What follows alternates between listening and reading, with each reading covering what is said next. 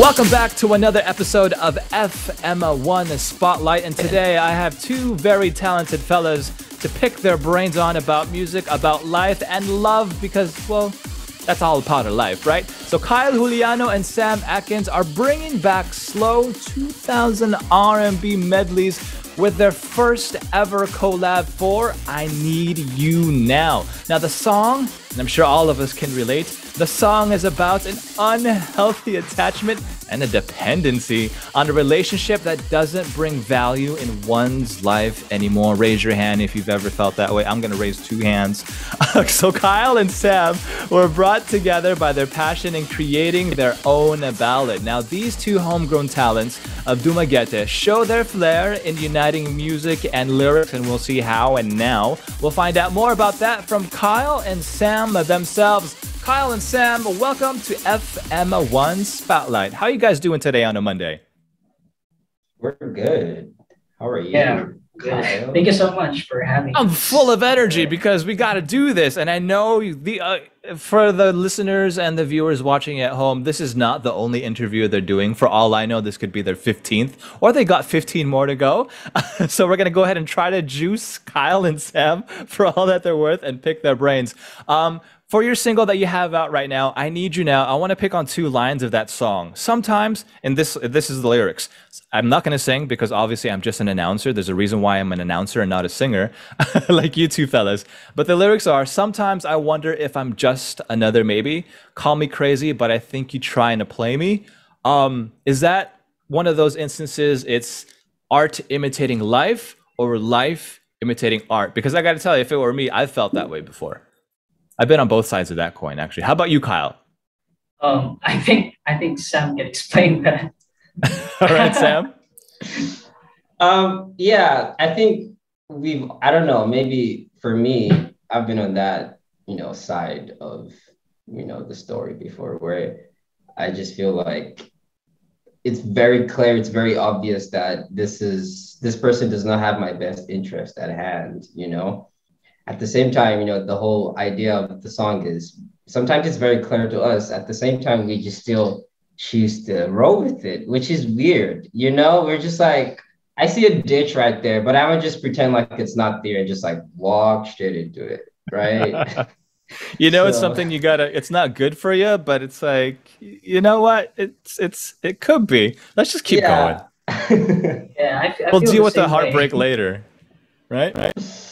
So wait, so Sam, in this song, you wrote the lyrics for it, and then Kyle is the one that wrote the melody. Is that correct? Uh, we or did you... it together. We did it. Okay, together. cool. Yeah. Yeah. So when you guys get together in Dumaguete, of course, i have never been there. I'm not familiar. So, and of course, we're in an ECQ, or I don't know what it's like there in, in Dum- what, What's the status in, in Dumaguete right now? Um, uh, Dumaguete is kind of chill uh, compared to okay. Manila. But you mentioned that's nice. Yeah. So you guys, when you say you guys, you did it together, you got together at like you're, like yo Kyle, I'm going to your house, or yo Sam, can I come over? Let's write something together. Something like that. How does that work out when two artists get together? So this happened 2019, right, Kyle? Yeah, yeah, yeah. Um, mid July, I think. Yeah, I think yeah. So I think Kyle was here for like holiday, and I was I'm just here, and, and I was like, bro, we should have a writing session. It's let's just jam or whatever. And he was like, Oh, I'm actually in town. I was like, Great, you know, and then we scheduled, I think it was a Thursday or something. Um, I went over to his place, his cousin's place, who also was one of their songwriters of the song. And we all just kind of jammed, you know. Kyle just played a couple chords and we just rode with it. We actually didn't um, plan to make a song song and like release it. Yeah. You know, we just wanted to have fun and hang out, and this song happened. So yeah. So you, when that jamming session came together, was it just "I Need You Now" that you ended up writing, or did you end up writing like a different, uh, more different songs, or like? Well, this one's about that specific theme. Maybe you had another song written out for another theme. No, it, it was just one song. Okay, oh, it was just this one. And yeah, and uh, before we wrote that song, I think we jammed for a little bit. Uh-huh. Then we finished the song for a couple of hours. And then I think it took us like whole day, right? To record the demo of the Yeah. whole song. That's think- what took time. Like Yeah, that took time. we wrote the song and we just wanted to record and hear ourselves sing it, and that took forever, you know. Yeah. But it was fun, you know. That's why we just kept going. Yeah, I was gonna I ask, like, what's the funnest part for you two guys? Like, for Sam, is it the writing part, and then like the recording or coming up with the the, the structure of the song? Kyle, how is it the same for you? Um, for me, I I I've I always love like making harmonies and uh, the melodies of the Ah, song. You're the melody guy, yeah. Yeah. So Sam um, uh, was more of the lyrics, and I also contributed a few of it. So Uh, so so like bring me back to like July, July. 2019. You guys are hanging out in the living room or something. You're like, yo, you there was this one girl I was totally tripping up on her, and she knew it too, so she took advantage of me. Is that what happens, or do you just kind of write? Like you bring like, don't Um, don't mention any names, no names, no names. But like you know, Sam is chilling on his couch and he's like, "Yo, this one girl." And then you're like, "Oh yeah." I don't know. Um, I can't remember. How about you, Sam? I think I think This, Same- this Sam definitely. This is coming from Sam. he's giving he's Like, giving Sam all the hard remember. answers. he's giving Sam all the, the hard questions. Um, I but okay, so yeah, I think this for this song specifically, it's sort of I think it's safe to say um, it sort of came from a subconscious um, Ah. part of us. So it wasn't like we were actively thinking, you know, because I think it's something we we all can relate to. Um, so Yeah, I think true. subconsciously it just came out. Yeah, that's that's yeah, like the, those the, when I when I was listening to the song and I heard those two lines, I was like, yeah, I've been there. Exactly. I've been there. Um, besides songwriting, like, what do you guys do? Like, do you play video games? How do you how do you keep away from like getting brought down by all the madness that is life right now in 2021? um, Sam usually plays um, video games. yeah. I I, think it, video games.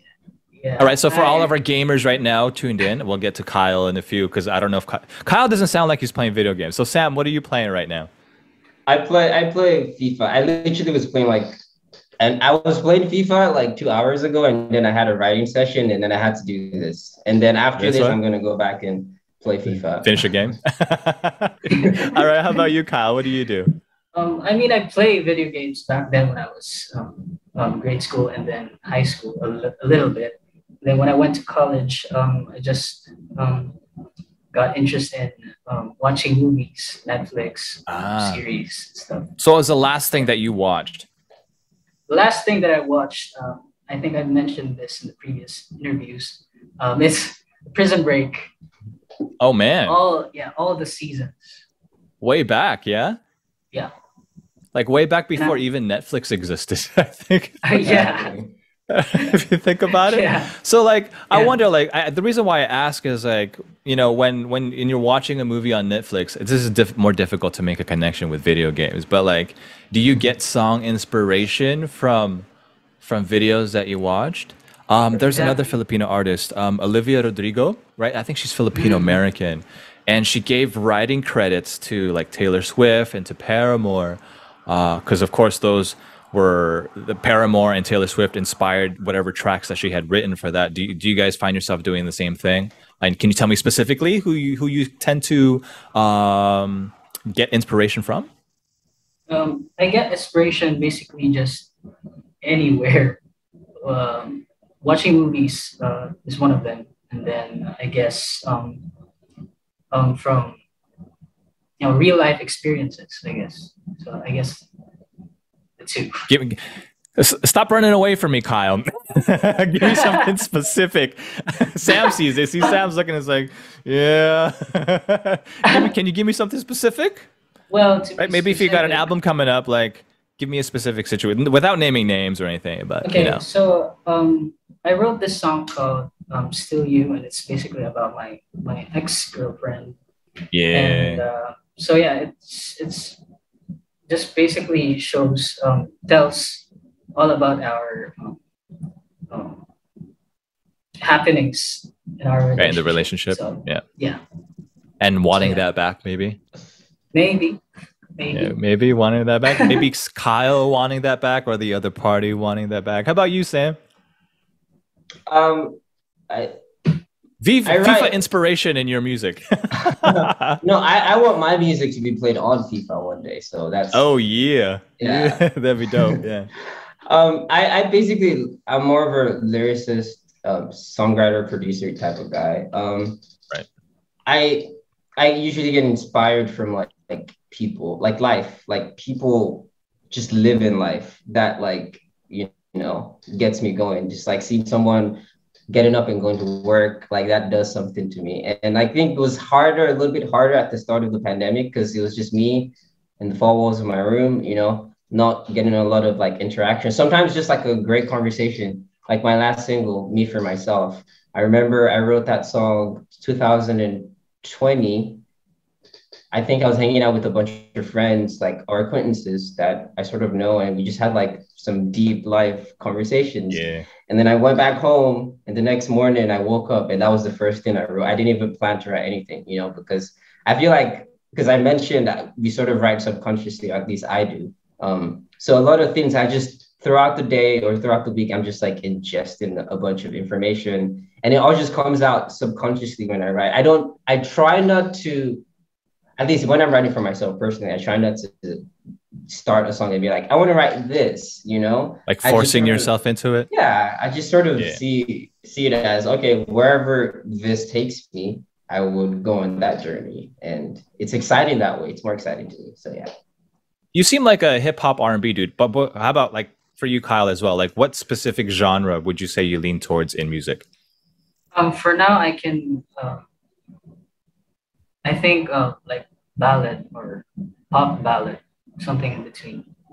So, what do you I'm have trying... on repeat, for example, on, on on your Spotify or other music streaming service? Like, what do you keep uh, on repeat, or is mostly um, or in a I'm playlist? Listening to, I'm listening to Justin Bieber songs and Shawn Mendes songs. Right ah, yeah. yeah, so, yeah. How about you, Sam? Um, I listen to everything because you know I just gotta. Sometimes I'm listening to like Michael Jackson, or I'm an album yeah. type of guy, so I like to listen to like albums and stuff like that. But it's so when you say you're an album type of guy, like you finish mm-hmm. it from track one to track exactly twelve. That's how I like it. Like I was trying to listen to Donda. Yeah. I don't know if you. Yeah. I have. And yeah. I haven't really gotten to to it's it's it's insane. It's insane. I it mean, is. it's Kanye. It's it's Kanye still. It's Kanye. Yeah.